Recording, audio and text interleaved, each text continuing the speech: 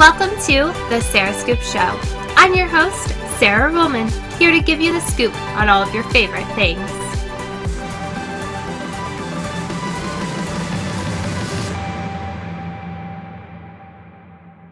Hi everyone, it's welcome back to the Sarah Scoop Show. Today I have Jason Dent from Big Brother here with us to share his story. Hi Jason, how are you? I'm good. How are you, Sarah? I'm doing great. Thank you so much for chatting with us this morning. Yeah, you bet. You bet. So, where are you talking to us from today? I am actually setting in my pickup because it's the most quiet because my cows are bawling out the outside and I but I'm in my driveway of my house and I was I was just getting ready to grab Oli and walk him to uh, the grass pasture. So Oli was on your list of things you'd bring into the Big Brother house, correct? yeah, he was, and I absolutely would have had they uh, had I got him talked into it, but I I couldn't quite get that done. So tell us, how did your journey start with Big Brother? What inspired you to go on the show, and just kind of talk us through the whole process? Well, you know, I I the whole decade of my twenties when I was you know bull riding and I don't know just being a, a waspy crazy cowboy. I, I tried out for every reality show that there ever was, and I never mm-hmm. had any traction whatsoever. So when I had the opportunity to try out for this and uh, to kind of see it through, uh, I I just bit on the cookie crumbs that that, that they left, and I, I thought, well, I didn't get it just by doing raw videos and and cold casting uh, show calls. So I I thought, man, if they were if if you know if they looked they they looked up whistle nut and they said hey you know we're going to be in your area. So i made sure i got there. So then did you go to an open casting call? Yeah i i did in des moines. It might have been structured just a little different but it was a but yeah it was when they had come to des moines and i showed up there yeah. Oh fun. So when you found out you were going on the show did you already have a strategy in mind to play the game no, I absolutely had no strategy in mind to play the game. I'd never watched the show, and I honestly thought that it was not even going to come to fruition anyway. I just figured I'd burn the couple hours it was going to take to go do the dog and pony show and just you know play my play my hand again and then uh, and you know I didn't I actually hadn't really read into it at all just because I'd tried so many other times at various other uh, reality shows that I I I wasn't even thinking it would happen. I was just I, you know, I just, I just was doing it because I thought, man, it'd be cool to get on a reality show once in my life. But I didn't, I wasn't really holding my breath at all. After talking to some of the other people that have also been on Big Brother, even in your own house, um, people have just kind of described persistency as key, and then also like being yourself. Since they are casting right now, is do you have any tips for people that are going through the process that you went through last year? Yeah especially during the casting right now. I mean, these people are they are they can tell right off the bat if you are who you portray yourself to be and and if you if you believe what you say. Uh, if you don't believe what you're saying or you don't make them believe what you're saying, you don't have a shot. You have to be authentic and genuine, or, in my opinion, just completely crazy enough to where you believe you're crazy too, right? So I, they want, they don't want, I guess they don't want just regular Joes. They want regular Joes in the in the terms that they, that you are who you say you are, but they don't want a bunch of posers because posers they you know they wear out of character. You know what I mean? Because it's it's a dreadful strain inside that house, and and it's boring for the most part. So if you're if you're trying to keep up a charade, uh, you're you're just gonna you're gonna you're gonna give it up, and then then there you are in the middle of the house, and it's just not gonna work. And they don't want that either. So they want people that are that are legit and kind of I guess resourceful and inventive because even even like me, I guarantee you, I'm a I'm a loud, wild mover and a shaker. I don't slow down and I don't weaken. And so when you cage me, I don't just go to sleep. I generally wind up and try to entertain myself. Uh, just because I'm like, oh my gosh, this is, you know, I to try to just to try to keep myself moving or doing something. So, and they need that because the house, there's not a whole lot of room in there and there's, and there's a lot of time. So they want people that are going to not just lay down and go to sleep because they don't let you sleep anyway. But they, and that's boring to watch. So you have to be, and no, I say kind of know your, uh, know, know, know your lingo, know your verbiage, right? I mean, anybody can Google something and talk the talk, but they want to know that you practice it. Like if you're like, I, you know, I'm a, I'm a cowboy. I can back that up, right? So if they ask me a question, I don't just use a bunch of ands, ums, and does. Am, um, the, yeah, um, I, well, I ride horses. Um, I do work. You know what I mean? They don't want to hear that. That's not boring. That's not in, that's not insightful, and it's not entertaining for anybody.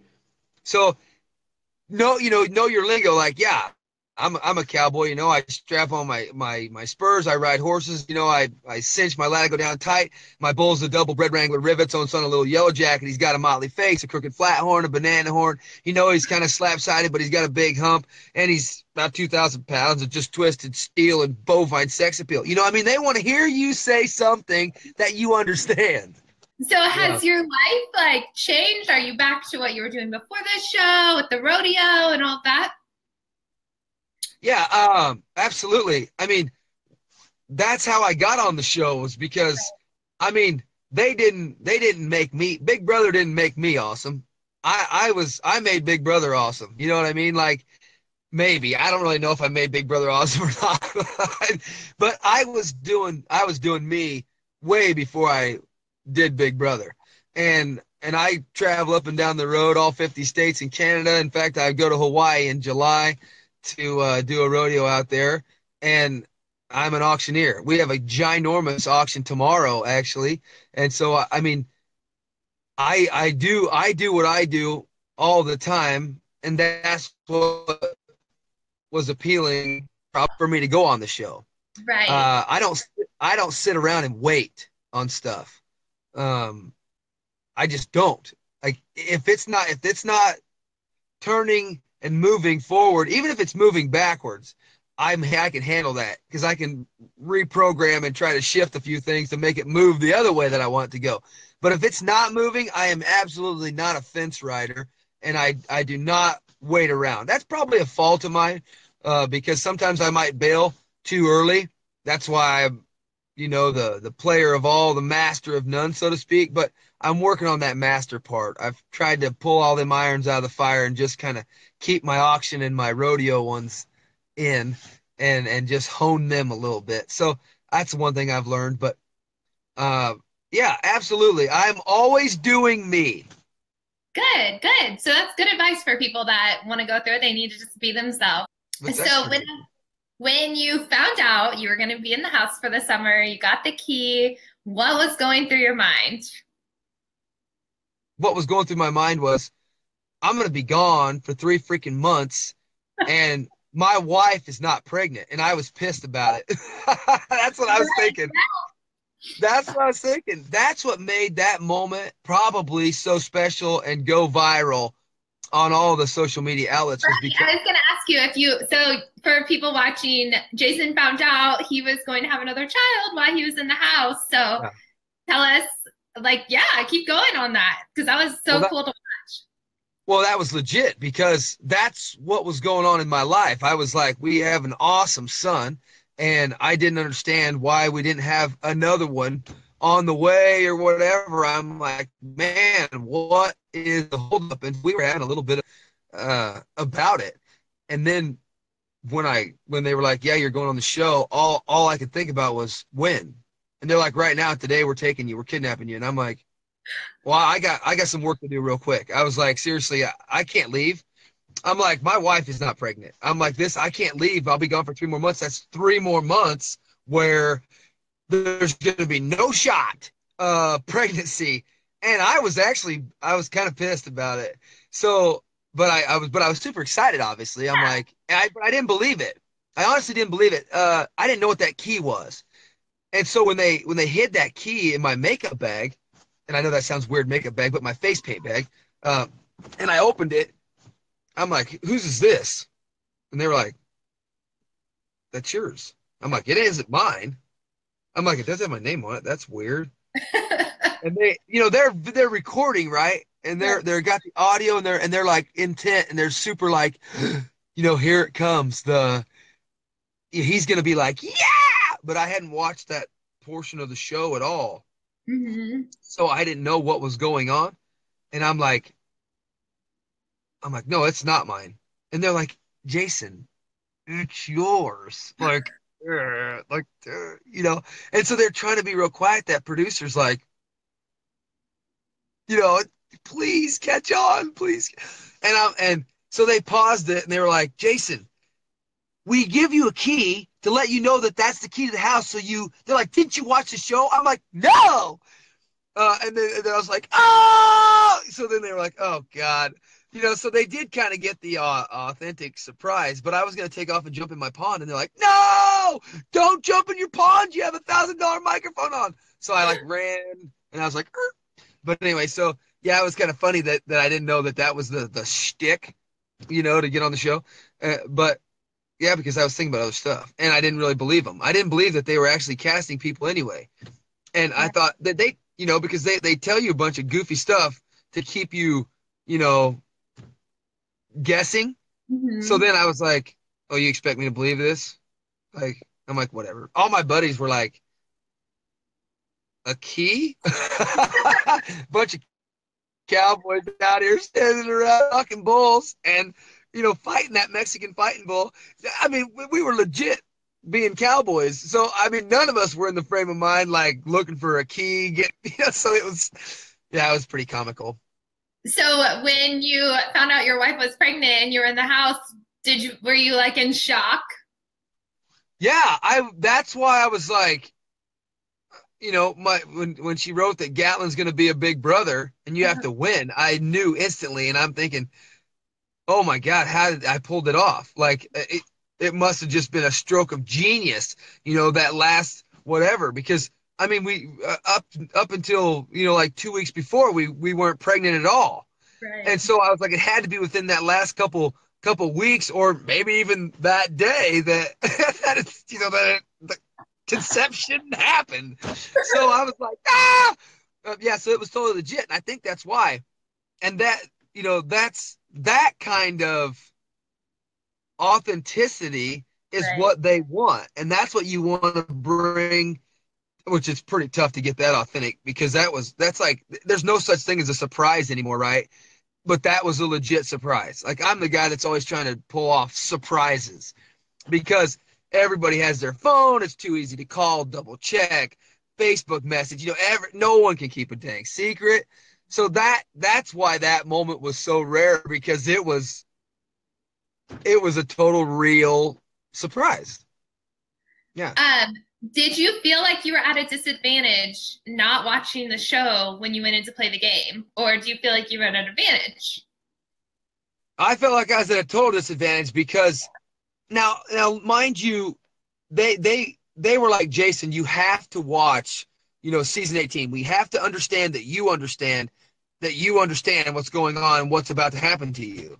And so I I did get it on my phone, and I was telling you, I wasn't really watching it. You know what I mean? Like I thought they just wanted me to understand the premise. So I wasn't just sitting there watching it. I was just kind of trying to I mean, it was honestly it was boring for me. I was like, You just wanted to like play the game. yeah, and I'm like, okay, the comps were kind of cool. I was like, I get it. I get it. You know, you just I said I don't need I understand social situations. You could literally blindfold me, tie me up, truck me across the country or across the world, dump me out, and I would survive. I mean, I would probably have friends within 30 minutes or a job in 45 minutes. I would actually probably have a job before I had friends. You know what I mean? Like you can't I there's nothing that can stop me, slow me down, hold me back. I just adapt instantly. Uh, and so I wasn't really worried about it. I was like, honestly, I got this. So I'm like, that's fine. You know, and then they'd be like, well, who got voted off? I'm like, uh, and they're like, Jason, you literally have, you know, we need to know that you understand what's going Right. on, right? And I was like, okay, okay. So, but I honestly, I honestly feel like it,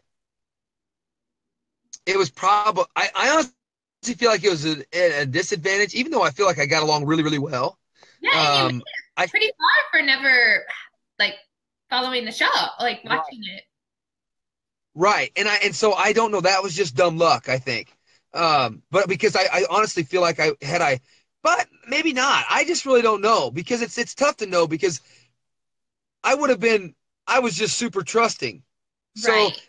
Had I watched the show, I probably wouldn't have been trusting at all, and so therefore I would have acted different, and things would have changed, and I might have got dumped out quick. Right? Like I really don't know. I was just like, ah, you know, why would they lie? Well, I mean, I mean, we're seriously in this trap, and you literally need to kind of I thought it was all about.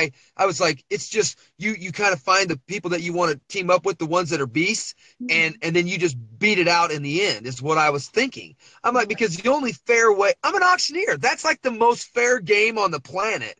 So I was like, uh, it, you should build your alliances and then b- battle it out. And then the best athlete or the smartest person or the best one at comps and the, in the heat of the moment situations is the winner. I was naive to that. I, you know, I, I, uh, I mean, I'm for Pete's sake, I'm 38 years old.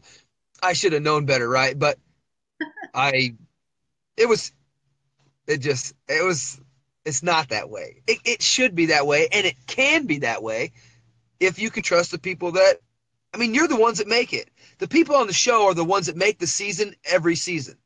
There's no rules. It doesn't have to be a lie, cheat, steal game it could be a, a competitive beasted out game, or it could be a, uh, you know, vote out all the all the beasts and then just kind of be friends and and talk your way through it and just have like, you know, like the popular one wins. I mean, there's literally a thousand different ways you could play that game, and they're all right. It's because, however, the people in that season decide to make it. So, I don't feel like I had a disadvantage or advantage really. Yeah. So whenever you were talking kind of like it is a social game and you and Alex kind of partnered up, was that at the very beginning when you first entered the house? You immediately partnered up, or do you feel like it takes a long time to build those alliances? No, it was like five seconds in. I swear, Alex was like, "You and me, we're going to the end," and I was like, "Why?" And she's like, "You're huge, and I'm really little." She's like, "The big and tall. That's the combination." And I'm like, "Really?" She's like, "Trust me." She's like, "I've watched the show." And I, so I was like, ooh, she watches the show, right? Then I'm thinking I could use that because I, and she's like, man, big and little always win because, you know, for the, sh- like, I can handle all the short stuff, you can handle all the tall stuff.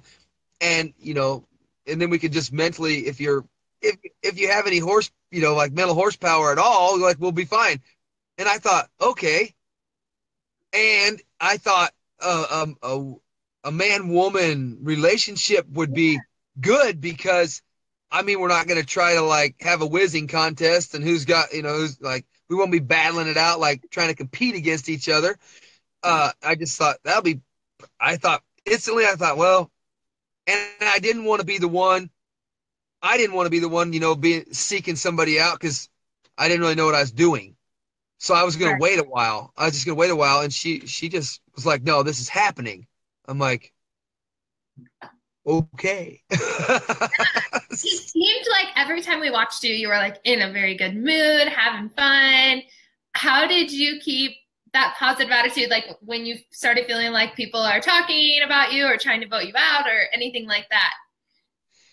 Yeah, you you literally have two choices every day. You can either take what you got and make the best of it, or you can just be a crybaby pee pants and you know be butthurt all day. And that literally does no one any good. And I, I'm a, I'm the guy that is like, I want resolution. Like, I, I, I don't like drama and I don't like problems. I'm the guy that wants to fix and solve problems. I like a challenge.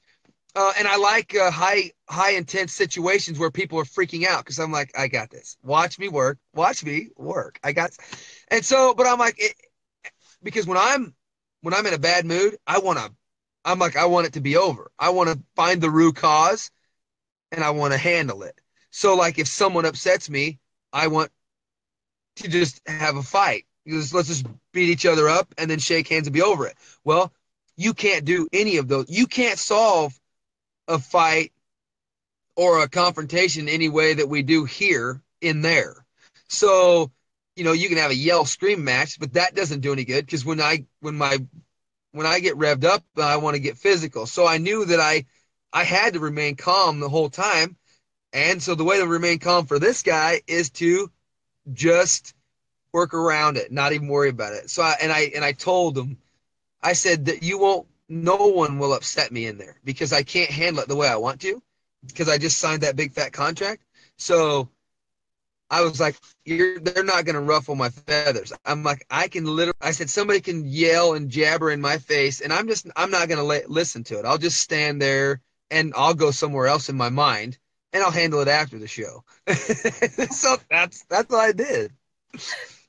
Um, what can you describe? So, as a viewer, we watch it and we're like, oh, I could do that challenge, you know, but obviously it's a lot harder when you're actually doing it. Can, can you describe one of the challenges for us? Maybe your favorite or the most difficult? Um, I'm I'm kind of a I'm kind of super intense, like, and I felt like a lot of them were kind of a a weight, you know, and it's hard to stay focused, which that is a thing. See, they they they have it all figured out. Like, it's they know. Get out of there. They they know how to work you on all angles. You know what I mean? So, I they knew that I would be super charged up for all those. That no one would beat me on some of those really intense. So they would, you know, they don't want to have all those challenges like that. So they know that the ones that drag out and take forever, I'd be more like, you know, this is so. Why is it taking so long? Um, so they they try to work against you because they want it to be fair for everyone. Thank you again to Jason Dent for being a guest today on the Sarah Scoop Show. We loved learning about his journey on Big Brother.